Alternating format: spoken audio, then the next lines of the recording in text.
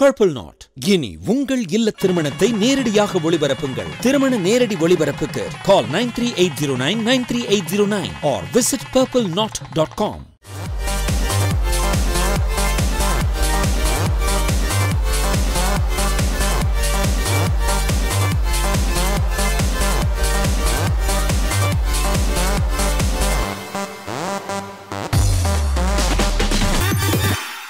மறக்க முடியாத கடிதங்கள். இன்றைய நிகழ்ச்சியில் புரட்சித் தலைவி ஜெயலலிதா அவர்களுக்கு நான் எழுதிய கடிதம். எழுத்தாளர்கள் கோமல் சுவாமிநாதன் சுஜாதா விசு பாடலாசிரியர் கங்கை அமரன் இயக்குனர் பாரதி ராஜா இயக்குனர் ராஜசேகர் இந்தி பட உலகினுடைய பிரபல நட்சத்திரமான ராஜேந்திரகுமார் ஆகியோர் எனக்கு எழுதிய கடிதங்கள் ஆகியவை இடம்பெறுகின்றன.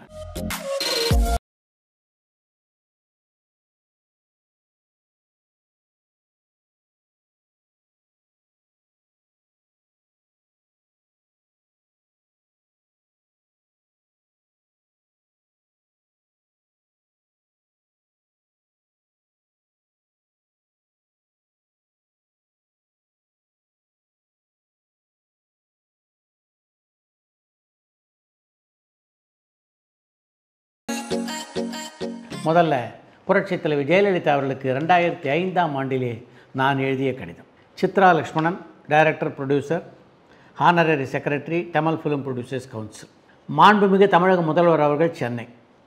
மாண்புமிகு தமிழக முதல்வர் அம்மா அவர்களுக்கு வணக்கம்.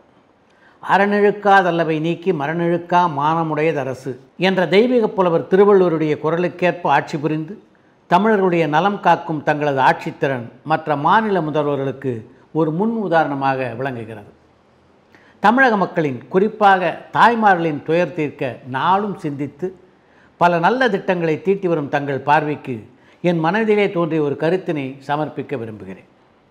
ஒவ்வொரு மாதமும் சம்பள தினமான முதல் தேதியன்று வாங்குகின்ற சம்பளத்திலே பெரும் பகுதியை மதுக்கடைகளிலே செலவழிக்கும் போக்கு அரசு மற்றும் தனியார் துறை ஊழியர்கள் தொழிலாளர்கள் என மாதச் சம்பளம் வாங்கும் எல்லோர் மத்தியிலும் இருக்கிறது. பை நிறைய பணம் இருப்பதால் முதல் தேதியன்று தங்களது குடும்பத்தை பற்றி நினைக்காமல் குடிக்கும் குடிகாரர்கள் பலர் இருக்கிறார்கள். இந்த நிலை மாறவும் தமிழக தாய்மார்கள் துயர் துடைக்கவும் சம்பள தேதியான முதல் தேதியன்று மதுக்கடைகள் மூடப்படும் என்று தாங்கள் அறிவித்தால் தாய்மார்கள் மனதிலே ஏற்கனவே நீங்காத இடம் பெற்றுள்ள தங்கள் மேல் அவர்களுக்கு மதிப்பும் மரியாதையும் இன்னும் உயரும் என்பது உறுதி. மனசாட்சியுள்ள எல்லோரும் வியந்து பாராட்டும் தங்களது ஆட்சித்திறன் மீது அபாரமான நம்பிக்கை கொண்டவன் என்ற முறையிலே என் மனதில் எழுந்த எண்ணத்தை தங்களுக்கு சமர்ப்பித்துள்ளேன். நன்றி. அன்புடன் சித்ரா லக்ஷ்மணன் அடுத்த கடிதம். இயக்குனர் பாரதி ராஜா எனக்கு எழுதிய கடிதம். அவருடைய தாயார் இறந்தபோது நான் அந்த சோகத்திலே பங்கேற்பதற்காக தேனிக்கு சென்றிருந்தேன். அந்த நிகழ்ச்சி முடிவடைந்த பிறகு பதினான்கு ரெண்டு ரெண்டாயிரத்தி மூன்று அன்று அவர் எழுதிய கடிதம் அது. அன்புடையர் வணக்கம். உடனிருந்து ஆறுதல் சொன்னீர்கள். துன்பத்திலே துணை இருந்தால் கண்ணீர் சொல்வது நன்றி. கண்ணீருடன் நன்றி சொல்கிறேன். இதய அன்புடன் பாரதி ராஜா. அடுத்த கடிதமும் ஒரு துயர சம்பவத்தை ஒட்டி எழுதப்பட்ட கடிதம் தான் விஷ்ணுனுடைய ஆறுயிர் தம்பி கிருஷ்ணு நாடக உலகிலையும் சரி சினிமா உலகிலும் சரி ஒன்றா அவரோடு பயணித்தவர் கிருஷ்ணு அவர் அகால மரணம் அடைந்த போது அப்படியே துடிச்சு போயிட்டார் விசு அந்த துயரத்தில் விசு இருக்கும்போது அவருக்கு ஆறுதல் தெரிவித்து ஒரு தந்தி ஒன்றை நான் அனுப்பியிருந்தேன். அதற்கு விசு எழுதிய பதில் கடிதம் தான் இது. ரெண்டு நான்கு ஆயிரத்தி தொள்ளாயிரத்தி எண்பத்தைந்து. அன்புள்ள ராமு லக்ஷ்மணன் அவர்களுக்கு தங்கள் தந்தி கிடைத்தது. துக்கக்கடலிலே மூழ்கி கிடக்கும் எனக்கு உங்கள் ஆறுதல் தந்தி மூலம் தோணி ஒன்றை அனுப்பியிருக்கிறீர்கள். கரையேற முயற்சி செய்கிறேன். நன்றியுடன் விசு.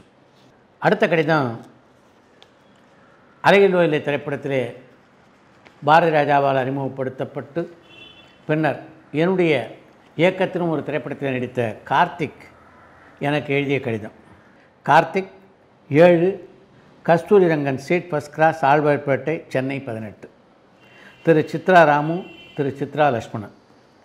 தங்களின் வாழ்த்துச் செய்தி கிடைக்கப்பெற்றேன். மகிழ்ச்சியுடன் எனது நன்றியை தெரிவித்துக் கொள்கிறேன். அன்புடன் கார்த்திக். இவர் அவருக்கு விருது கிடைச்ச போது நான் எழுதிய கடிதம் ஒன்றுக்கு அவர் எழுதிய பதில் கடிதம் அது. அதே மாதிரி தான் தமிழ்நாடு ஏலேசிய நாடகமன்றத்தினுடைய சார்பாக இன்றைக்கி எனக்கு கொடுத்துருக்க கலைமாமணி பட்டம் இருக்க அதை எண்பத்தி ஆறாம் ஆண்டிலே கங்கை அம்மனுக்கு கிடைச்ச போது நான் அவருக்கு பாராட்டு தெரிவித்து ஒரு கடிதம் அனுப்பிச்சிருந்தேன். அதற்கு கங்கை அமரன் பன்னெண்டு ஐந்து எண்பத்தாறிலே எனக்கு ஒரு நன்றி கடிதத்தை அனுப்பியிருந்தார். கங்கை அமரன் பன்னெண்டு ஐந்து எண்பத்தி ஆறு. திரு சித்ரா லட்சுமணன் அவர்கள் ஒம்பது தெற்கு சிவன் கோயில் திரு வடபழனி சென்னை இருபத்தி ஆறு அன்புள்ளவரே இந்த ஆண்டில் எனக்கு தமிழ்நாடு ஏலேசை நாடகமன்றத்தின் சார்பாக கலைமாமணி என்ற பட்டமளித்ததை பாராட்டி வாழ்த்து தெரிவித்த தங்களுக்கு எனது உளப்பூர்வமான நன்றியினை தெரிவித்துக் கொள்கிறேன்.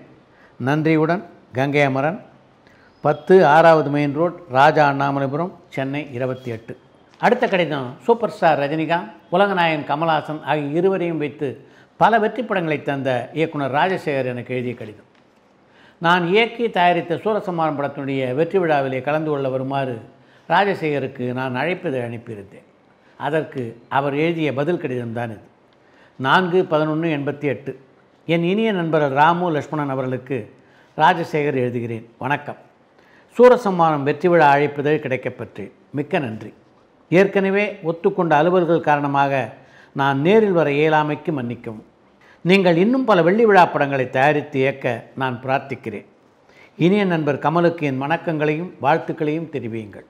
என் அன்புடன் என்றும் உங்கள் ராஜசேகர் ஐந்து முதல் குறுக்கு தெரு அபிபுல்லா ரோட் சென்னை பதினேழு.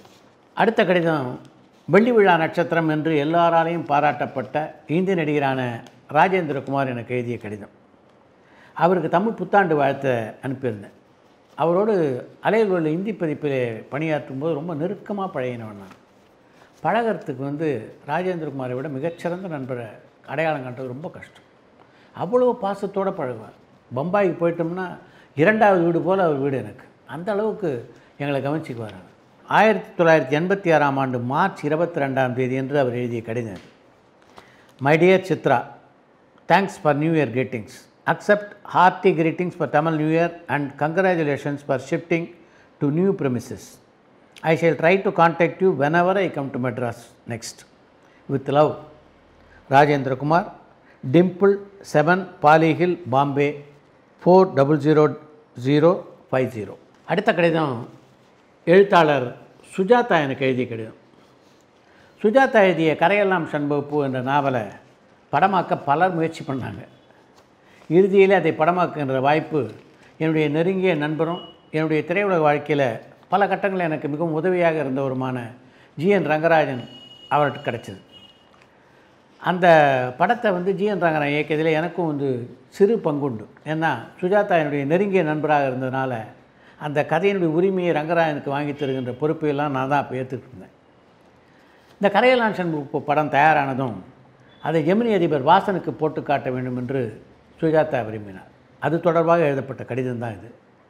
Sujatha S Rangarajan D nine BEL colony Bangalore. அன்புள்ள சித்ரா லட்சுமணன் அவர்களுக்கு. திங்கட்கிழமை திரு ஜி கே ரங்கராஜனுடன் ஃபோனிலே பேசிக் கொண்டிருந்தேன். கரையெல்லாம் சண்முகப்பு திரைப்படத்தை ஆனந்தவுடன் ஆசிரியர் குழுவிற்கு பிரத்யேகமாக போட்டு காட்டுவதை அவர் விரும்பினார். அது பற்றி நான் விகடன் எம்டி பாலனிடம் பேசினேன். அவர் உடனே சம்மதித்தார். படத்தின் பிரிண்டை கொடுத்து விட்டால் கூட போதும். அவரே ஜெமினி திரையரங்கில் ஏற்பாடு பண்ணி பார்த்து விடுகிறேன் என்றும் சொன்னார். ஜிஎன்ஆர் விட்ட அட்ரஸ் என்னிடம் இல்லை. எனவே நீங்கள் உடனே அவருடன் தொடர்பு கொண்டு இந்த செய்தியை சொல்லி திரு பாலன் அவருடன் நீங்களோ அவரோ தொடர்பு கொண்டு இந்த தனிப்பட்ட ஷோவுக்காக ஒன்று ரெண்டு தினங்களில் ஏற்பாடு செய்யுங்கள். மிக்க அன்புடன் சுஜாதா. அடுத்த கடிதம் கதாசிரியரும் இயக்குனரும் நல்ல சிந்தனையாளருமான கோமல் சுவாமிநாதன் ஆயிரத்தி தொள்ளாயிரத்தி எண்பத்தி நான்காம் ஆண்டிலே எனக்கு அனுப்பிய கடிதம். நடிகர் திலகம் சிவாய் கணேசன் கதாநாயகனாக நடிக்க நான் தயாரித்த வாழ்க்கை திரைப்படத்தினுடைய நூறாவது நாள் விழாவிலே கலந்து கொள்ள வேண்டும் என்று கோமல் சுவாமிநாதனுக்கு நான் அழைப்பு அனுப்பியிருந்தேன். அதற்கு அவர் எழுதிய பதில் கடிதம் தான் இது. Stage friends director Komal Swaminathan. Number ஏழு second street postal colony Chennai முப்பத்தி மூன்று இருபத்தி ஏழு ஏழு எண்பத்தி நான்கு காயத்ரி ஃபிலிம்ஸ் சென்னை. அன்புடைய உங்களின் படைப்பான வாழ்க்கை திரைப்படத்தின் நூறாவது நாள் விழா அழைப்புதல் கிடைக்கப்பெற்றேன் படத்தின் வெற்றிக்கு பணியாற்றிய அனைவருக்கும் என் பாராட்டுக்கள். தொடர்ந்து தங்களது ஸ்தாபனம் வெற்றி படங்களையே கொடுத்து வர வேண்டும் என்று விரும்புகிறேன். நான் இருபத்தி ஒன்பதாம் தேதி ஈரோட்டுக்கு நாடகத்திற்காக செல்வதால் விழாவிலே கலந்து கொள்ள இயலவில்லை. நல்வாழ்த்துக்கள்.